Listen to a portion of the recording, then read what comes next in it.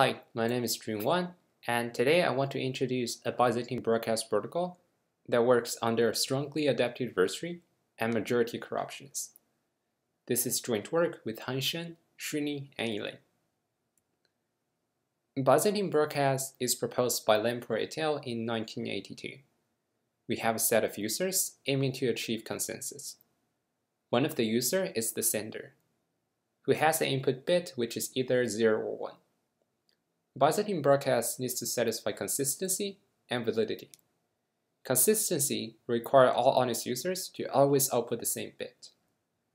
Validity requires that if the sender is honest, then all honest users follow the sender's decision and just output the sender's input bit.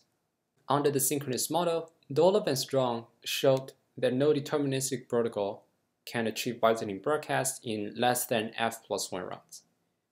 Here, f is the number of corrupted users. Therefore, we're just going to focus on randomized protocols. If we consider randomized protocol, then there were some beautiful results. Under honest majority, Katz and later Abraham et al. showed that there exists expected constant runs protocol even under a strongly adaptive adversary. Under dishonest majority, Chen et al. first proposed solution with um, polylog run complexity. This is later improved by Wan et al. to expected constant runs. However, the solutions for dishonest majority only work under weakly adaptive adversary. Before we move on to the details, let's first clarify the adversary model we're talking about. Usually in consensus, we consider three adversary models. The first one is the static adversary, which is the weakest adversary model. In the static adversary, an adversary needs to decide who to corrupt before the protocol begins. Once the protocol starts, the adversary cannot corrupt any other honest users or any incoming new users. The second adversary model is the weakly adaptive adversary model. A weakly adaptive adversary can corrupt any user at any time of the protocol. However, after it corrupts a user, it cannot erase any message already sent by that user in the first in the round of corruption. So this is why we can deal with a weakly adaptive adversary by keeping the identity of the leader or the committee secret. If we can elect a leader and the leader's only job is to send message once, then it doesn't matter whether the adversary corrupt the user after the message has been sent. Right? At this point, the leader's job is fulfilled, and the adversary can do whatever it wants to the leader. The third adversary model is the strongest of all. A strongly rushing adaptive adversary can perform what we call after-the-fact removal. This means when it corrupts an honest user, it can even erase all the message this node has sent in this round. So suppose we elect a leader and the leader sends a message. As soon as we detect it, we can control the leader and erase the message that this leader has already sent. It has been a long-standing open problem whether it is possible to achieve sublinear run complexity under dishonest majority and a strongly rushing adaptive adversary. In this paper, we show that the answer is yes. Assuming the existence of a trusted setup and the existence of some hard time lock puzzle, then there exists a protocol that achieves Byzantine broadcast in n divided by the number of honest user square times polylog lambda number of rounds. Here lambda is the security parameter. Our solution is to combine time lock puzzle with Chen et al.'s construction. So let's first review their protocol. So in their construction, they define two committees called the zero committee and the one committee. This is constructed using verifiable random function. Basically, uh, the zero committee just contains all nodes whose uh, VRF evaluation outcome on zero is smaller than a certain parameter. This parameter is chosen such that each committee size is polylogarithmic in expectation. Each committee will basically engage in a polylogarithmic number of rounds of voting based on certain voting rules. Let's not go into the details of these voting rules here. It's just enough to know that this is very similar to doing Dolev and Strong's protocol just under the committee. But in the same time, committee members and non-committee member will keep relaying all the votes they have seen. So this protocol works for weakly adaptive because a committee member only needs to send message once. Their identity will be hidden before they send the message. After they send the message, this message will be guaranteed to be received by all honest users on their weakly adaptive adversaries. At this point, their job is fulfilled and they're done. However, this does not work for a strongly adaptive adversary as the strongly adaptive adversary can just detect the committee's members whenever it sends a message, it then just corrupt it and also erase the message sent. So if only the adversary cannot corrupt any users before those messages are delivered. So with this in mind, our first idea is to how about we encrypt the votes or we encrypt the message such that the adversary will need at least one round of time to decrease to decrypt this message, by the end of which this message will already be delivered to every other honest users. This is the part where we use a time lock puzzle. As the name implies, a time lock puzzle basically take a message and lock it in a puzzle for some time t. No one can solve it before this time. Specifically, the time lock puzzle, or at least the version we consider, has two functions. It has a generating function, which is a probabil probabilistic algorithm that takes a security parameter, a time parameter, and a solution as inputs, and then it outputs the puzzle. It also have a solve function, which is a deterministic algorithm that takes in the puzzle and provides the solution. A time lock puzzle needs to satisfy three properties. First of all, solving the puzzle will always return the correct solution. Secondly, it should be efficient, meaning that generating the puzzle will take polylog time regarding t, the time parameter, and solving the problem or solving the puzzle would take at most t steps. Notice that both of these time complexity should happen on a sequential random access machine. So without needing parallel computing or anything like this, they should still be able to achieve this time complexity. Finally, the most important properties of a time lock puzzle is that there exists a parameter or a constant epsilon such that every epsilon times t bounded non-uniform parallel machines cannot solve the puzzle. They can only succeed with negligible probability. Given the time lock puzzle, here are our basic intuitions.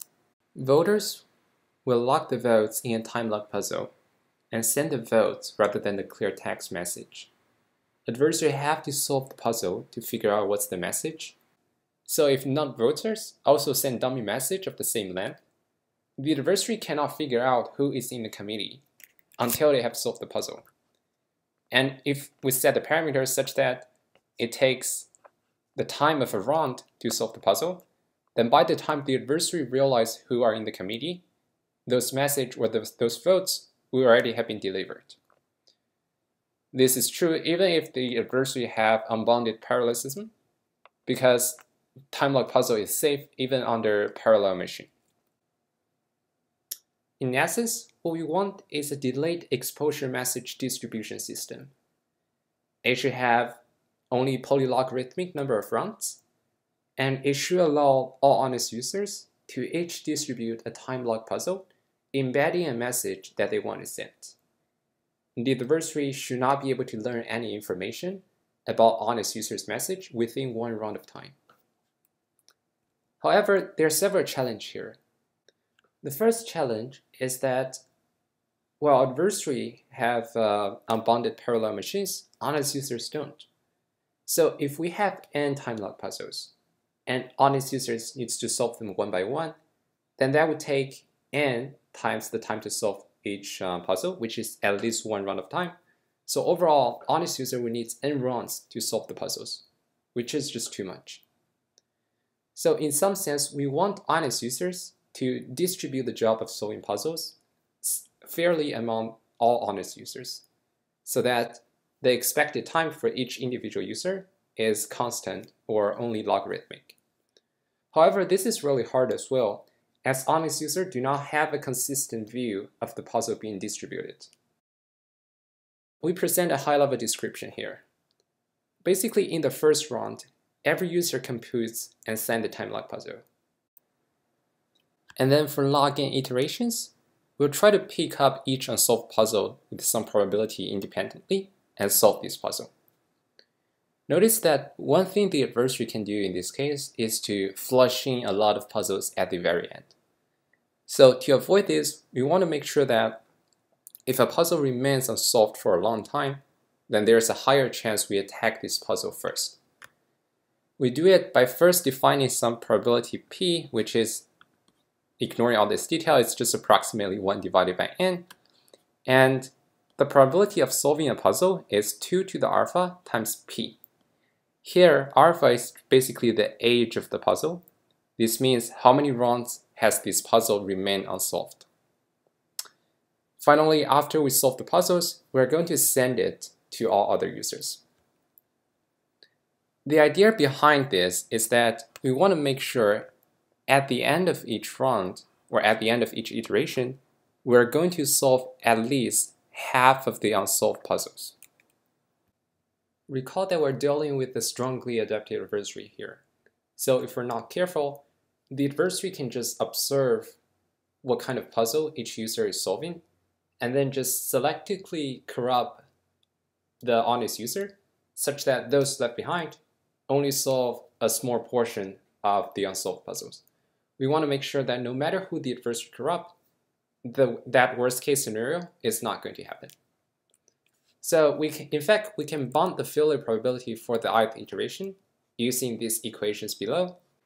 Let's not go into the details here. It's just enough to know that this is a combination of probability analysis and then doing union bound over all the set of possible honest user and all the set of uh, unsolved puzzle.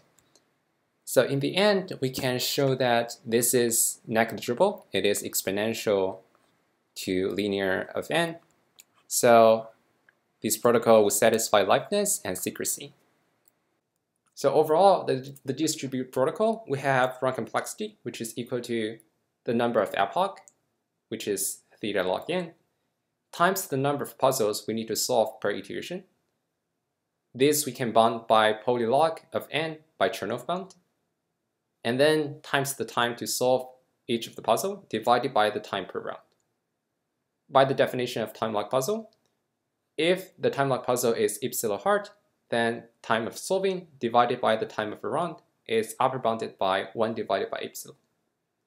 So overall, these just reduce to polylog of n and lambda. So lastly, all we need to do is combine it with the, the technique proposed in Chen et al., where there are a lot of details that we need to change, but the most important intuition is just replace the normal message relay with the distribute protocol we proposed. Like changing the algorithm isn't exactly a challenge. The most challenging aspect of this part is how to prove the security or how to rigorously argue the failure probability.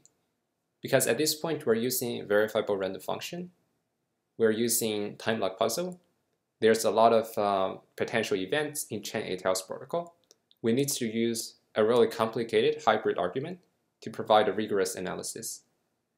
Feel free to check out our paper online. I will not bother you with the details here. In fact, our distribute protocol can be combined with a lot of other protocols to make them tolerate strongly adaptive adversaries. It will be interesting to check out and try out different algorithms later. So in conclusion, we propose a Byzantine broadcast protocol that works under dishonest majority and a strongly rushing adaptive adversary.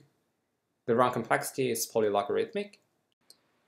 However, it remains an open problem whether it is possible to achieve Byzantine broadcast under a strongly adaptive adversary in just expected constant number of rounds. Of course, under dishonest majority. I personally find it very challenging because if you need expected constant rounds, then you can't use the distribute protocol or time lock puzzle we just talked about. And it will be also very interesting to see if you can prove any impossibility results on this area. We would like to thank the anonymous TCC reviewers and our awesome shepherd, Ren, for helping us by improving this paper. We also like to thank everyone who has discussed time lock puzzle with us and um, providing helpful feedbacks and suggestions. Of course, finally, we would like to thank you for listening to this talk and being interested in our work.